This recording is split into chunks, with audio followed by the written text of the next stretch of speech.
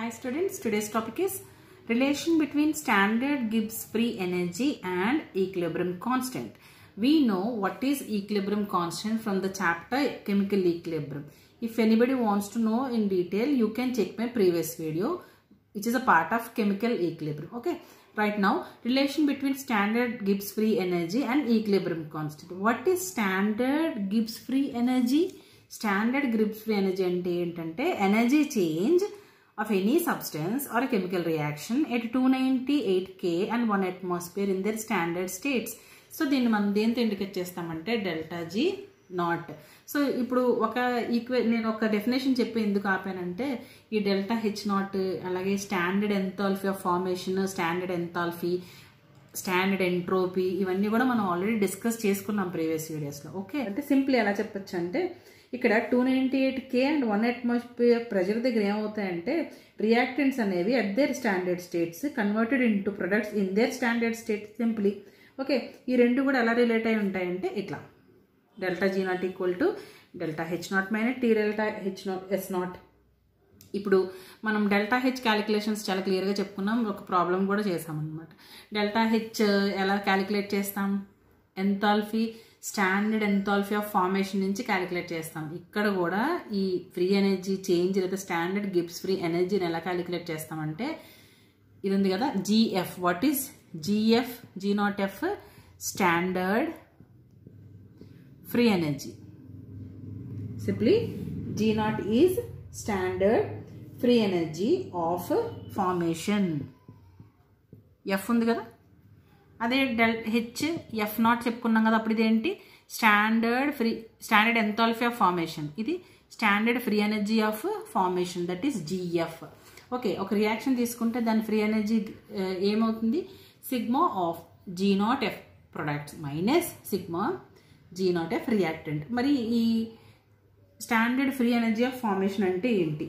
అంటే free energy change when one mole of compound is formed from is constituents elements in their standard state ఒక standard స్టేట్స్లో one mole of element దాని constituents నుంచి form అవ్వడం simple standard free energy of free elements is always zero delta హెచ్లోనే ఇది కూడా free elements మనకి zero వస్తుంది అనమాట రైట్ ఇప్పుడు ఇక్కడ delta G naught of reaction equal to sigma G naught F naught you can study like that G naught F products minus sigma G naught F reactants అంటే standard free energy formation of products minus standard free energy of formation of reactants వీటిని sum చేసి దాంట్లో నుంచి మనం వీటిని minus చేయాలన్నమాట. Suppose ఒక reaction తీసుకుంటే ఇక్కడ N one A plus N two B gives rise to N three C plus N four D అంటే ఇవి రియాక్టెంట్స్ ఇవి ప్రొడక్ట్స్ ఇవి number of moles N one N two N three N four so అప్పుడు ఈ reaction delta G naught ఎంత అవుతుందంటే ఇక sum of standard free energy formation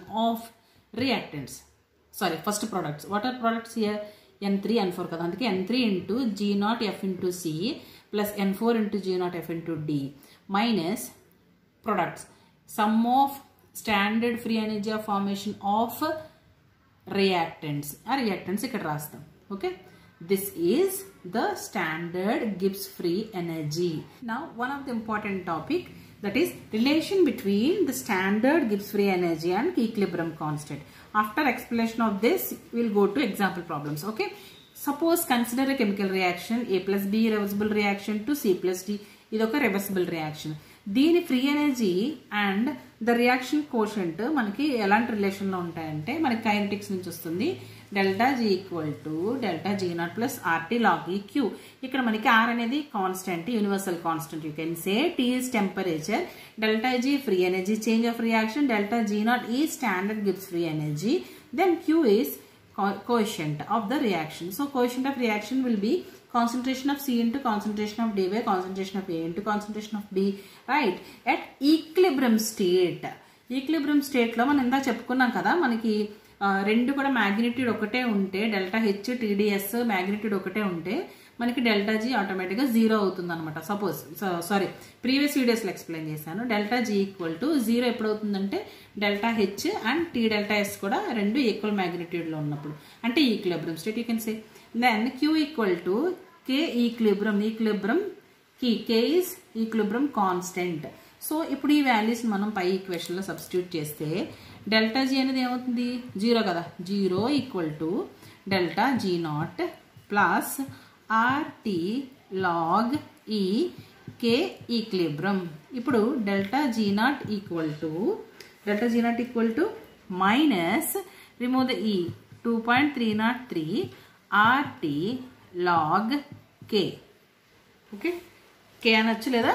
K equilibrium sorry K equilibrium this is the relation between standard Gibbs free energy of reaction and the equilibrium constant of reaction okay అంటే ఇది ఎందుకు use చేస్తామంటే numericals calculate చేసేటప్పుడు if you know the standard free energy delta G naught you can calculate chemical equilibrium sorry equilibrium constant and vice versa ఇది తెలిస్తే దీన్ని దీన్ని తెలిస్తే దీన్ని మనం క్యాలిక్యులేట్ చేయొచ్చు.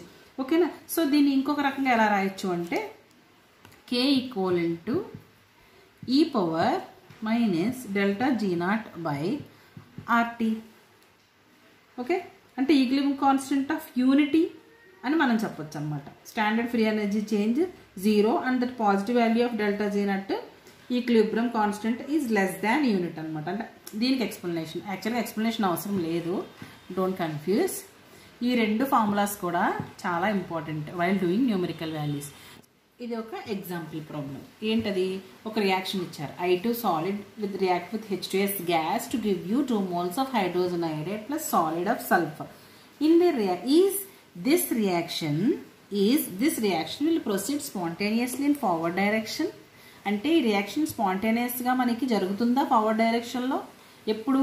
If delta G naught F of HI equal to of gas equal to this much value and HDS of standard formation of Gibbs free energy this much value అంటే ఈ రెండు వాల్యూస్ ఇచ్చారు. ఓకే ఇక్కడ మనకి reactants two ఉన్నాయి products two ఉన్నాయి. But మనకి ఈ రెండే ఎందుకు ఇచ్చారు అంటే the free element Gibbs standard formation energy of free elements are zero అంటే ఇక్కడ ఐ టూకి మనకి జీరో ఉంటుందన్నమాట. Delta G naught F delta G naught F of I two equal to zero and delta G naught F of sulphur equal to zero standard స్టేట్స్లో free ఎలిమెంట్స్కి మనకి ఈ GF అనేది జీరో అవుతుంది. అందుకే మనకి ఇవ్వలేదు values don't worry about values ఇవన్నీ మనకి క్వశ్చన్స్లో డెఫినెట్గా ఇస్తారు. కొన్ని కేసెస్లో might be not given okay ఇప్పుడు ఈ రెండు వాల్యూస్ నుంచి మనం క్యాలిక్యులేట్ చేయాలి. ఇది స్పాన్ సారీ డిసైడ్ చేయాలి. స్పాంటేనియస్గా జరుగుతుందా జరగదా? సో స్పాంటేనియస్కి ఫేవరబుల్ కండిషన్ ఏంటి? Always delta G equal to ఏం రావాలి మనకి? నెగిటివ్ రావాలి. జీ నాట్ ఇక్కడ మనకి స్టాండర్డ్ వాల్యూ కాబట్టి. సో డెల్టా జీ నెగిటివ్ రావాలి. సో వస్తుందో లేదో చూద్దాం. సపోజ్ ఇప్పుడు మనం క్యాలిక్యులేట్ చేయాలి. మనకి ఫార్ములా ఏంటి? Delta G naught equal to sigma delta G naught of sorry G naught of products products minus sigma g naught of products of reactants f of reactants okay? So ఇప్పుడు మన sigma so total ఈ reaction ఏంటి మనకి? Two HA plus solid so ఇక్కడ moles ఏమున్నాయి? Two moles కదా?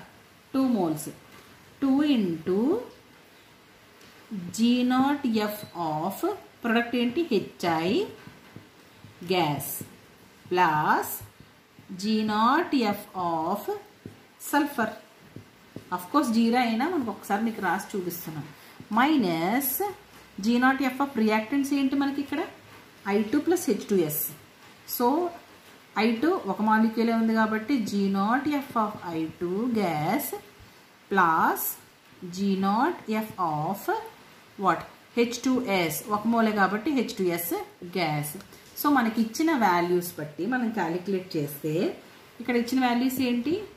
Two into HA gas ఎంత మనకి? One point eight plus GF of solid సల్ఫర్కి zero minus I టూకి జీరో ప్లస్ హెచ్ టూ అంతా గివెన్ వాల్యూ నుంచి thirty three point eight okay you will get simply thirty point two kilo joules minus ఇది minus కదా? Minus value వస్తుంది. So kilo joule per mole kilo joule minus వచ్చిందా? Delta G value minus వచ్చింది కదా so delta G naught equal to negative of G thirty point kilo joule so this reaction will proceed spontaneously in forward direction this is the way how you have to decide the spontaneity of a reaction right next example question if equilibrium constant for a given reaction this is the reaction at 290 k is 73 then calculate the standard free energy change.